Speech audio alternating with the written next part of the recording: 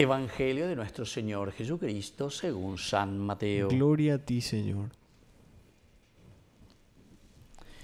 Se presentó a Jesús un alto jefe y postrándose ante él le dijo, Señor, mi hija acaba de morir, pero ven a imponerle tu mano y vivirá. Jesús se levantó y lo siguió con sus discípulos. Entonces se le acercó por detrás una mujer que padecía de hemorragias desde hacía 12 años y le tocó los flecos de su manto pensando, con solo tocar su manto quedaré sana. Jesús se dio vuelta y al verla le dijo, te confianza hija, tu fe te ha salvado. Y desde ese instante la mujer quedó sana. Al llegar a la casa del jefe, Jesús vio a los que tocaban música fúnebre y a la gente que gritaba y dijo, retírense, la niña no está muerta, sino que duerme. Y se reían de él. Cuando hicieron salir a la gente, él entró, la tomó de la mano y ella se levantó. Y esta noticia se divulgó por aquella región. Palabra del Señor. Gloria a ti, Señor Jesús. Queridos amigos, aquí tenemos dos casos muy interesantes, ¿verdad? Jesús que está yendo como para curar, dice, a la hija de un alto jefe.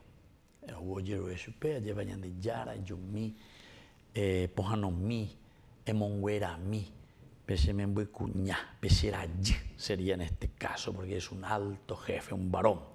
Y entonces postrándose ante él, Señor, mi hija acaba de morir, acaba de morir. Fíjense la fe de este hombre que viene todavía a pedirle, pero ven a imponerle tu mano y vivirá.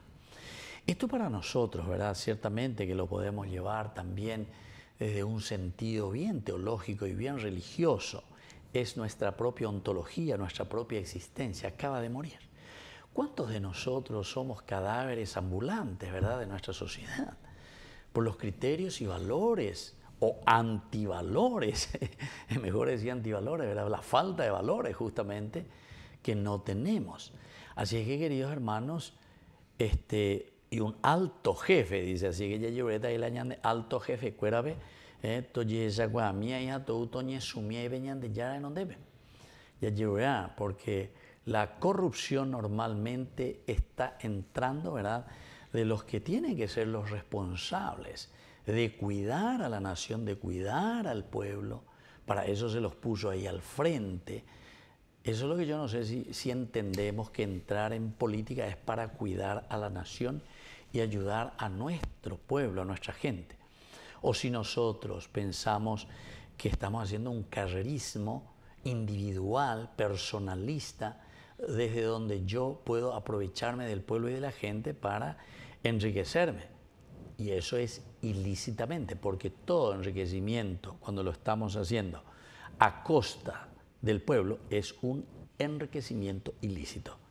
Vea, yo pienso que todos los políticos y todos nosotros sabemos. Pienso que, aunque estamos igual a que a la política y cuando es que te bebe, o en un lado la plata, hay que actúa lleva bebe ñañen borrico, añandero gaponaña, ape, amo, amiguismo, pea prestar nombre, etc. Entonces, ya, padre, y utoi, ya. Y entonces, este alto jefe, dice, viene y se postra ante el Señor. Señor, mi hija acaba de morir, mi nación acaba de morir. El alto jefe viene y dice, mi Paraguay se está desangrando, ¿eh? mi gente que no tiene más remedio que nuestros hospitales se caen a pedazos, etcétera, etcétera. ¿Cuántas cosas? Yo creo que quiero entrar demasiado detalle porque si no algunos ya me dicen después y vos ya directamente le está ofendiendo a algunos ahí. si es para ofensa, por eso si no me parece para la predicata del Evangelio de Jesús, porque ya ya con las de. Y entonces uno queda así, pero uno que tiene aquí a flor de labios, tiene muchos datos y muchas cosas que uno lee, encuentra, ¿verdad? Entonces eso nos preocupa, ¿verdad? Pero, pero, mira este alto jefe lo que viene a decirle a Jesús, y de yárabe. ven a imponerle tu mano y vivirá. Es decir, primero luego él viene a postrarse, postrándose ante el Señor. Queridos amigos, si cuando ver música pea, getalla por allá, que por lo menos en mitad, en duda, que la abuela, de rodillas, Señor, de rodillas. Entonces, rojo allá, es agua, pero de rodillas, Señor, ante ti, porque confiamos verdaderamente en tu gracia. Y entonces con la frente inclinada en el polvo, ¿verdad? Tenemos que reconocer, queridos hermanos, por qué lo que hacemos tantas cosas desubicadas sabiendo que somos hombres pasajeros. Tenemos un segmento nomás de estos años de vida, un segmento nomás de nuestro nacimiento hasta que el Señor nos vuelva a llamar. Jamarapi, ñande Leica Tujaba llevañame y construir el reino de Dios y preocuparnos. Y cuanto más posibilidades tenemos de los recursos, ¿verdad? Que Dios nos da para organizar y hacer el bien a los demás. ¿Para qué pico, verdad? Nosotros hacemos lo contrario. Bueno, eso es entre paréntesis. Lo importante es que Jesús se levanta, lo sigue con sus discípulos. Entonces nos invita también a nosotros a irnos, a acompañarle. Y aquí entra la otra historia, ¿verdad? De esta mujer también hemorroísa, que se acerca a 12 años, que gastó todo lo que tenía, ¿verdad? Pero con el solo tocar, dice el fleco de Jesús, el manto de Jesús quedaría sanada. Esta es la fe total, se dan cuenta, fe de ambas partes.